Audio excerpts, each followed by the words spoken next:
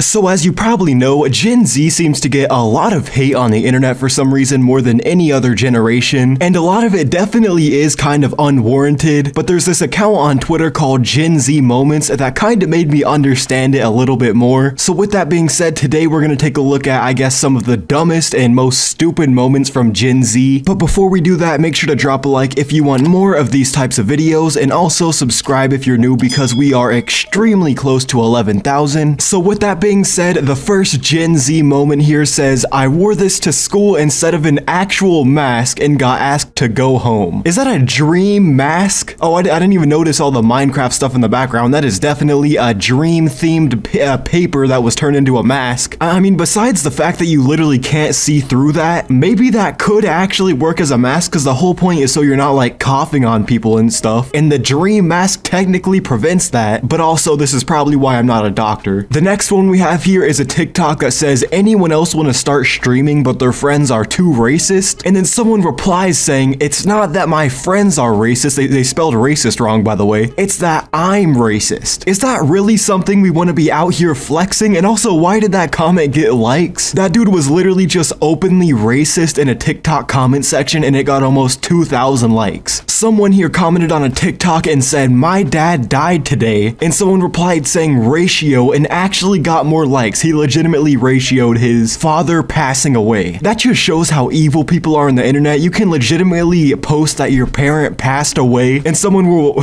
and someone will reply ratio for no reason. The next one here is an Among Us themed poster at someone's school that says it's okay to be sus. I don't know why everyone's school has those like extremely cringy posters in the hallway that are like trying to be funny or like trying to relate to kids. You can tell some like 40 year old teacher wrote it trying to connect to 15 year olds. It's like that one meme of the old guy trying to fit in at school. POV, it's the 1950s and you see your African American friend being beaten, but you have to act like you don't care. Hashtag for you page. Not everything needs to be turned into a TikTok trend. I promise you, we definitely could have left this one out. And just the fact that she put hashtag for you page at the end of the caption shows that she was literally doing this for clout. She was trying to get uh, followers and likes off slavery. And it actually worked. This got 150,000 likes. People were really supporting this type of content. So here we just have this woman who posted these two pictures with the caption, I feel pretty, and someone replied, trigger warning, people of color, please delete as it's disturbing to many viewers across this app who feel uncomfortable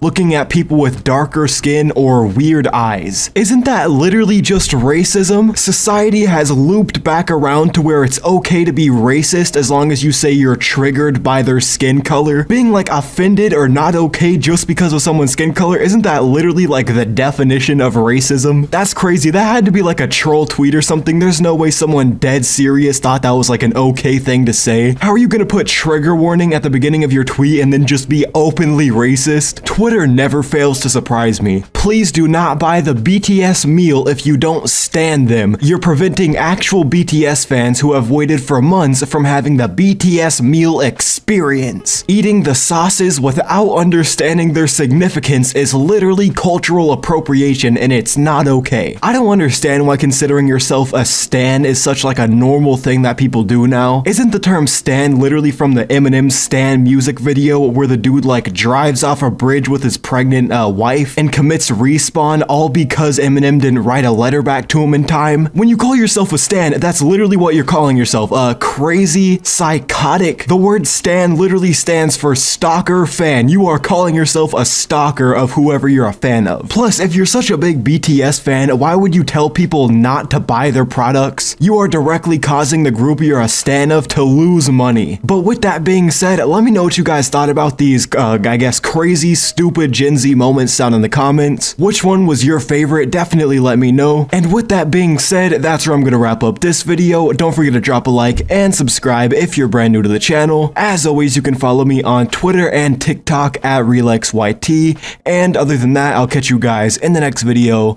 I'm out.